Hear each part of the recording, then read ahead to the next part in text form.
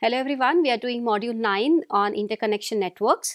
This is lecture number 3 where we are going to discuss about routing methods. So what is a routing algorithm? So in a network which is connected uh, with several switches, nodes and uh, all these are connected using links and channels uh, and so on, we need to send a packet from one node to another node right. So, you need to find the route through which it is going to follow. For example, you want to go from your home to your college, you have to follow some path to reach to your college. There are definitely multiple paths, but which is the best path to follow is decided by the routing algorithm. So, essentially in a interconnection network, the path which a packet follows uh, from a source to the destination is called the route of the path and uh, or route of the packet and this is decided by something called the routing algorithm. Now these routing algorithms come in variety of flavors depending on what type of network you have. If we are dealing with a large network like internet or computer networks, definitely it's a different domain of a problem. But when I talk of interconnection networks on a chip, we have very limited number of resources we may have several nodes but we have a limit that we need to decide very quickly because uh, the latency will affect the processor and the system performance. Hence um, the decision has to be done very fast. Also the switch design or the algorithms implementation also has to be as simple as possible because we cannot waste time resources and energy and area to make this decision uh, logic more complex right. So, we need a very simple algorithm for doing the routing. So, overall we uh, among several other methods there are three main ways in which uh, routing can be done. Okay. So, for uh, achieving high speed uh, network performance for interconnect networks, we are going to look at mainly three types of routing, arithmetic routing, source based routing and table lookup. All these have to guarantee that they are as simple as possible to be implemented and fast because we want a quick decision when the packet moves through the network. We should not uh, hold back the packet and wait and decide where it should move. So, it should be done very quickly in as few clock cycles as possible. Okay. This uh, simple decision is also going to affect how our switch will get designed because the hardware complexity also affects the area and uh, energy budgets of the chip. At the end, the algorithm must be free from deadlock. Okay. So, what is the routing algorithm? So, if I say this is my switch, the peach color box is my switch and some uh, packet or data is coming on the input channel, from here it has to go to a destination. So, destination information comes with this packet which is coming on this uh, port, right. So, when this comes, the switch has to decide where to route it further right. So, should it route it to the north side, to the south side, to the east or is it uh, destined to this particular node that is the local port. So, this decision logic of where to route the packet is done by the routing algorithm. Okay, so, we will see quickly uh, three of these. The arithmetic routing as the word says arithmetic, this uh, comes with some simple maths to be done. So, the when the packet moves out from the source, we know the source and the destination. So, what we do is simply uh, find out the difference of the x and y coordinates. Okay, so given a 2D grid or 2D mesh type of a network, from source to destination you find the delta x and the delta y assuming the origin at a given point. So, if I assume the origin to be here at this node then this will be my coordinate 0 0 and accordingly uh, my delta x and y will get decided. Alternatively, my origin can be anywhere else. Suppose I call this as my origin, then my decision would be different. Okay. So, let me take a middle point as an origin so that we can uh, explore all options. Okay. So, um, this suppose this is my origin. Suppose if this is 0 0 and I want to take my packet from this green node 1 to this green node number 2 right. So, these uh, light green to dark green is my uh, path of uh, passage. So, when I want to take this how will the packet start from the light green node? So, the from the light green to the dark green it has to find out the delta x and the delta y. So, um, the overall logic is if your difference in x coordinate is negative, it is negative means you have to go on the left side of your origin which is on the west direction correct. So if this is my origin and if we are standing here, if the delta x is negative, I am supposed to go in this direction. If my delta x is positive, it means that the destination is on the right hand direction. Hence, I want to take the east port. Okay. Similarly, for the y, so if your y is negative means you have to go down. So you have to select the south direction. If your y is positive, you have to move up and so go the go to the north direction. If your delta is 0, what does it mean? We have already reached the destination that is the current processor is the destination node. So in this example, if we start from the origin 0 0 and I want to go from light green to dark green, um, I will request you to pause the video, find out the delta x, the delta y and then list down the different directions it should take. Okay. So at the light green, what is the delta x and delta y for this? So you'll have to of course uh, name uh, the nodes and so on. So if this is 0 0, this is going to be 1 0 because the x coordinate is 1 and y is 0. This is going to be negative 1 0 right. This is going to be 0. Uh, so the x coordinate is 0, y coordinate is 1. This is 1 1 and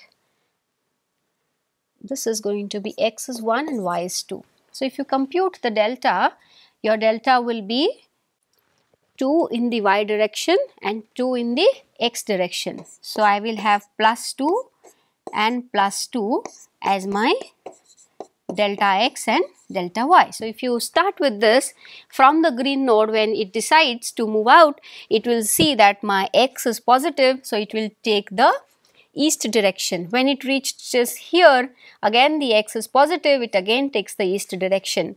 Here when uh, the, of course the x is 0, when x becomes 0, you have to check the y and here the y is plus 2.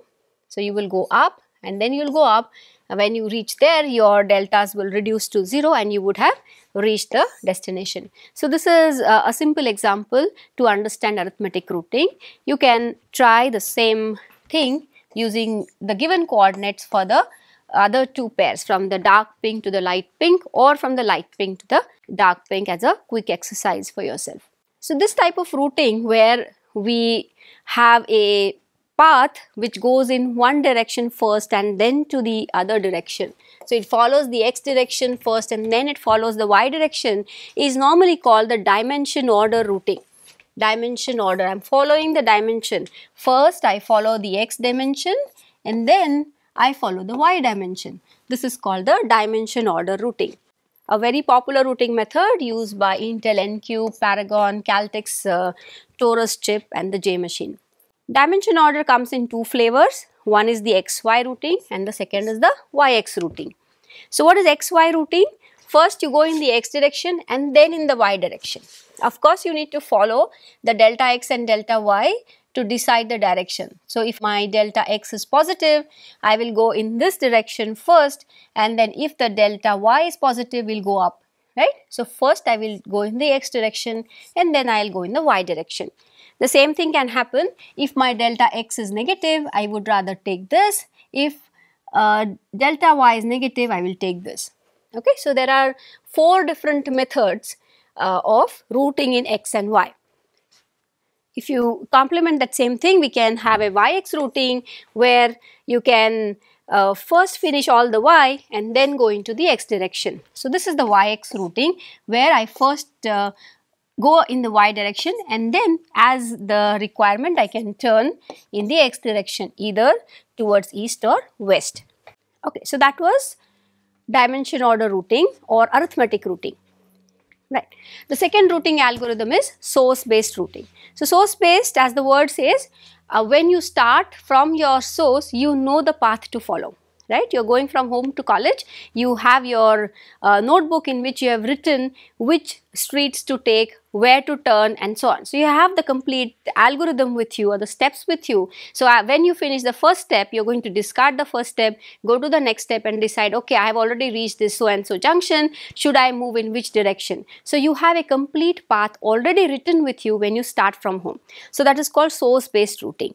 So, here the header contains all the paths throughout the network that is which switch and which hop it should take, which direction it should turn at what point, right. So, complete information is already there and whenever you uh, reach one node where, or when you uh, travel one hop, you have to delete that information. For example, if my header has all this information that I have to go first use P0, P0 essentially indicates uh, the direction in which I am going, right. So, these are a subset of the path. So, path information is broken into several pieces. So, I will take the path P0. Once I have consumed it, I am going to delete this information and then take up P1 and then P2 and P3, right. So, this way as we move ahead, we are going to strip off the information which we have consumed.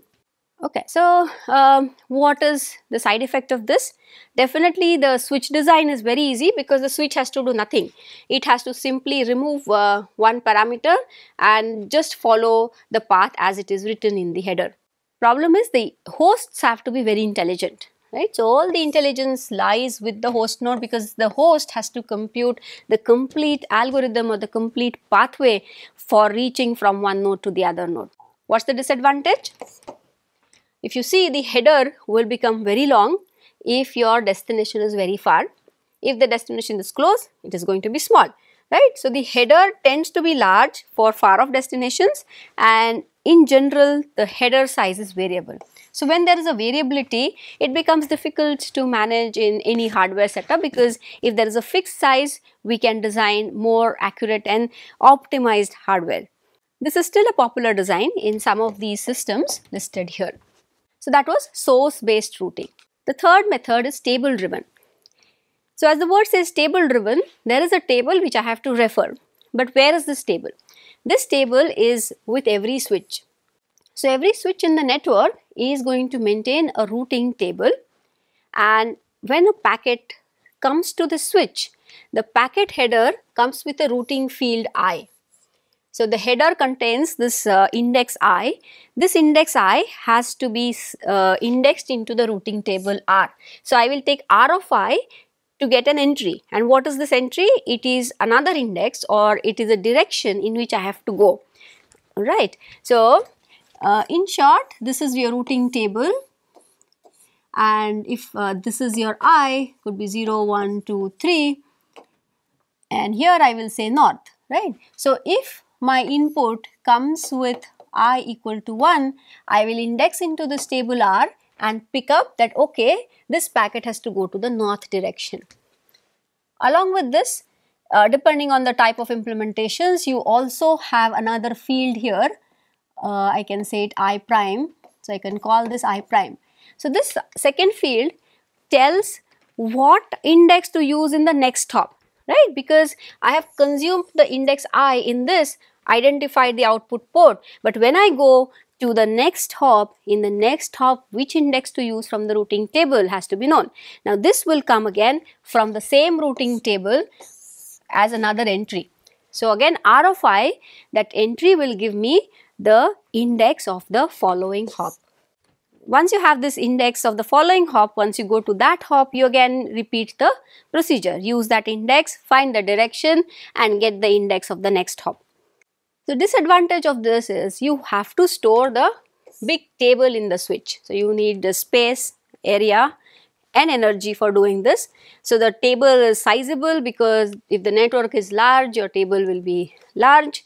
It has to uh, keep the table updated because the table has to be reconfigurable in case your network changes its shape. So, I should be able to configure the contents depending on the uh, connectivity of the network. Alright, so these are definitely not uh, used for on chip, they are used for bigger uh, systems. So, if I have a small multi-core architecture, I can go for simpler dimension order routing algorithms rather than table driving. Of course, there are trade-offs in each and there is no one final decision. We are just looking at different ways in which we can do uh, real implementations take care of many other metrics before coming to a final decision. All right. Uh, so, all these algorithms uh, I would say were deterministic because uh, we know where to go, right. So, be it uh, source based, dimension order or table driven, it is uh, decided to begin with that this is the path you are going to take, right. So, this is the route you will follow to go to your college. Even if there is a traffic congestion, you are going to follow that. However, that has limitations that it leads to contention and uh, possibly uh, deadlock may happen or more delays can take place. Right? So, how do I solve this problem? So, we can go for an adaptive routing instead of a fixed routing. A fixed routing is called deterministic and the other is called adaptive. So, as the word says adaptive, depending on the traffic, you can at runtime decide to use a different path than what you had decided. Okay, so dimension order was x and y. So it says go only in the x direction first and then to the y direction. But given that in the x direction there was a contention, there is some more traffic, more packets waiting, I can temporarily divert to y direction and then again follow the x direction, right. So you can take alternative paths and then adaptive routing. So here in this grid, my xy goes in this direction. My xy dimension order routing will take up this uh, path. But if you say that uh, this particular link is busy here, what will we do? We can uh, divert our direction to the north for some time. Right. So, I can come up to here and because the route is busy, I can go up here, then maybe again follow this and go up there. So, overall, I have taken a zigzag path towards the destination in a mesh based system.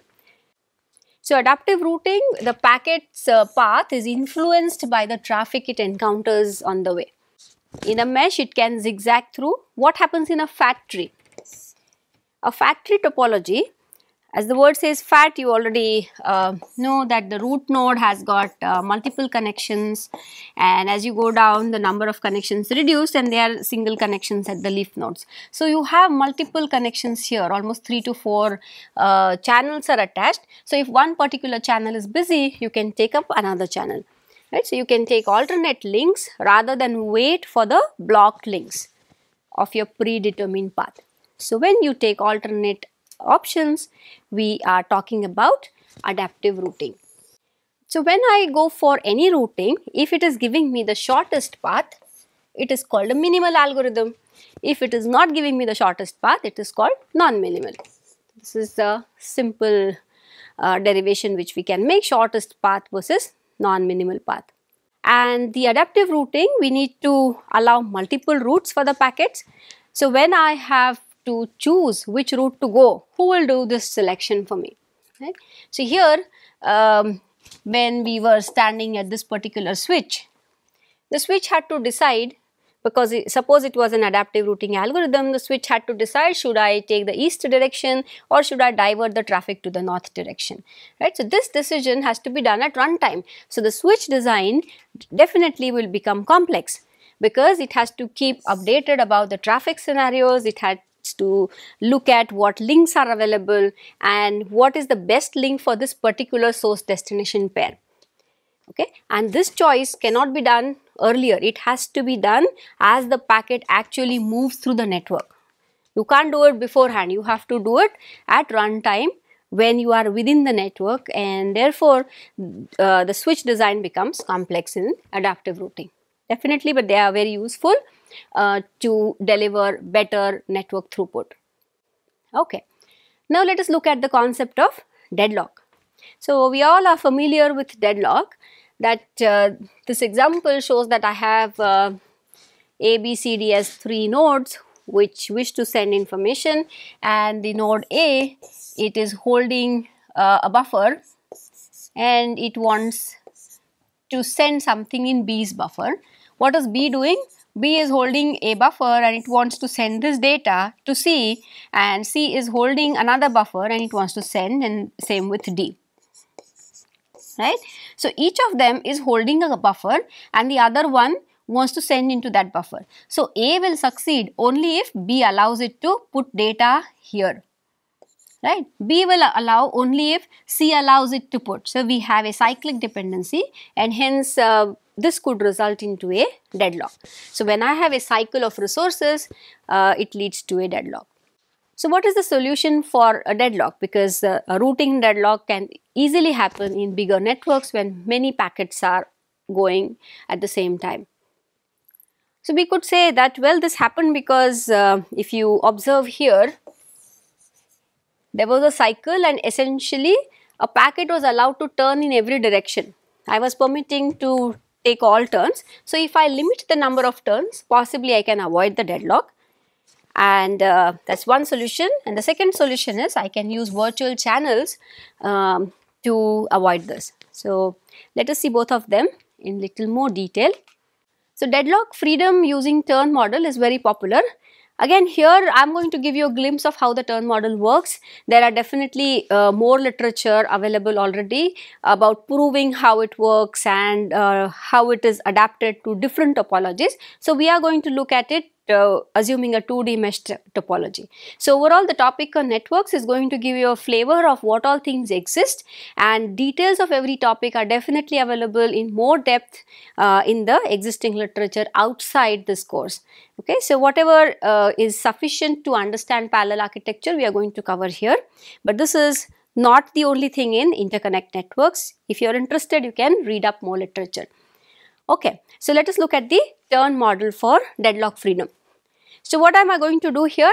O overall, we are going to disallow certain turns so that the deadlock doesn't happen. That is, it will not form a cycle. Okay, so this is, these are the different turns I have. So I will say this is clockwise, right? I'm turn, every turn is going clockwise. I will have another anti-clockwise or counterclockwise uh, method of turning. So we will call this as version 1, version 2. So clockwise turns just uh, to understand the examples.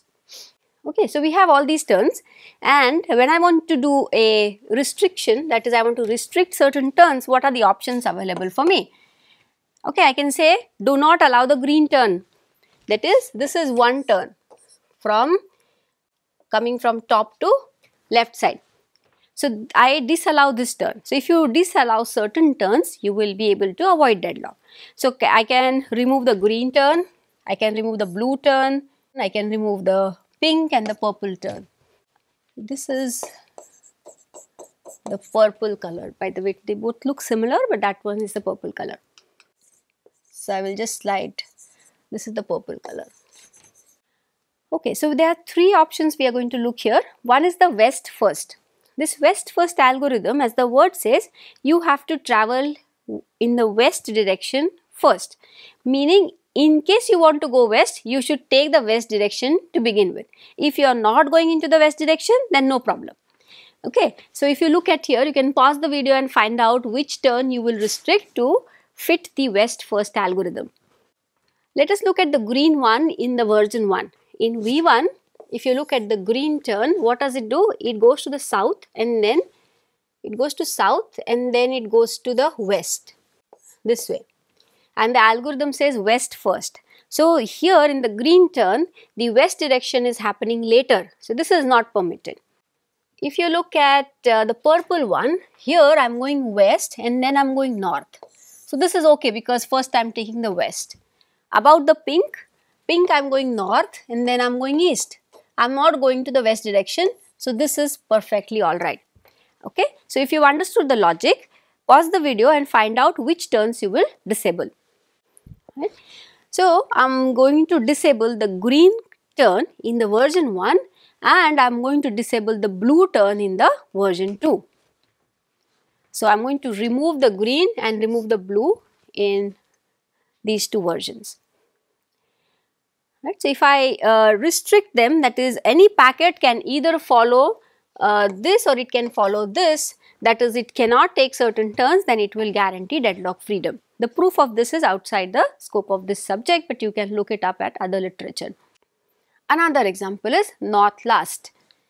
Okay, you can again pause the video, try it out for yourself. North last says you should go in the north direction at the end if at all you want to go to the north direction. If I look at the green one, it goes to the south and it goes to the west. I am not touching the north direction, so this is perfectly alright. If you take this, this goes to the west and then to the north.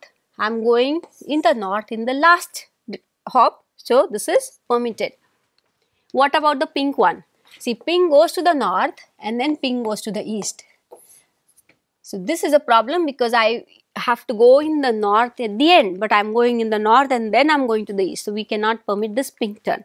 Okay. Similarly, you can derive something for the V2 and thus in V1 I am going to prohibit the pink turn and in V2 I am going to prohibit the blue turn in the right top corner. So this blue is the top right corner in V2. Okay. Third one is negative first. Negative first is south direction. So you should go in the south direction to begin with.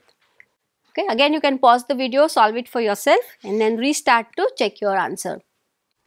Okay, so ho hopefully you are able to derive this. So in V1 we are going to restrict the blue turn and in V2 also the blue turn. So negative first means go left first and then you can for x you have to go left first and for y you have to go down first. So negative uh, essentially doesn't only mean south, it also means the negative direction of your uh, coordinate system. So this is negative x direction and this is your negative y direction. So if you are following any of this, you should first take the negative direction. Okay. So these were three examples of turn models. Now you would say well they uh, work very well so why not remove any turn at random or can I just say that all turns are okay. Well not because not all turn models are valid. See look at this example we have V1 and V2 and suppose I remove any two turns. Okay, does any two turn removing leads to deadlock freedom? If we remove the northwest that is the blue and the purple, right, blue and purple similar shades. I am going to remove top right is blue, bottom left is purple. If I remove them, what will happen? So, uh, in V1, I have removed the purple. I have removed the purple in V1 and I have removed the blue in V2. So, this I have done in V2 and this I have done in V1. Okay. Now, see what I will do is I will try to rearrange them and I will demonstrate that you can still form a cycle. See this is V1, that's V2 and here is the connection. So if you connect this, this can easily go here and you can see that you have formed a cycle. Hence uh, this shows that or rather this counter example shows that removing these two turns does not give you deadlock freedom. Okay, so that was the turn model. Now the next routing algorithm is up star down star routing. So this is like a regular expression. Up star means you can take the up direction 0 or more times and then down star means down direction 0 or more times. But you cannot take an up direction after the down direction. Okay. So up or you can go only up and then you can go only down. So as the word up and down says, I need some kind of direction for this. What does up mean and what does down mean? So it's no longer a four quadrant coordinate geometry, it is only up or down and hence it is uh, kind of similar to a tree type structure where I go up the tree and then I go down the tree. So my network has to be uh, designed or numbered such that it forms a tree type structure. So what are what is my network made up of? It is made up of the nodes which are going to send and receive information and then we have all these switches. So all the nodes have to be at the leaf and the intermediate switches will be the intermediate uh, root nodes or the parents of these leaf nodes throughout the network. And the numbering of the nodes should be such that I should be able to move in the uh, monotonic up direction and then the monotonic down direction okay. So, uh, we will take one quick example to understand the concept more details out of the scope of this topic. Right. So, for up star down star routing we assume that we have bidirectional link and if I can uh, make the topology at a tree structure I can set a set of legal paths which are uh, good enough for a deadlock free routing. So, we are going to form a tree and we go up the tree and then we go down the tree. In the graph I am going to number the nodes such that as we go uh, up the tree the numbers increase. So, here this is a hypercube. So, if you can see here this is the way the numbering is done and if I want to follow an up star down star routing I need to rearrange this into a tree structure and then decide the direction in which I can go. A simpler way to uh, map this uh, routing to a given example here is I want to go from say yellow to red. What are we going to do? We will go uh, follow one dimension first and then follow the next dimension. So, in this I will first start with the LSB bit and try to go towards the destination and match the LSB bit. So, my source is 001 and my destination is 110. I am going to use the LSB first I am going to look at this and this bit has changed. So, I will try to move in the direction which gives me the LSB bit as 0 and if you see here I will have to go in this direction. Once I go to this direction my LSB matches with the destination but my other two bits don't match.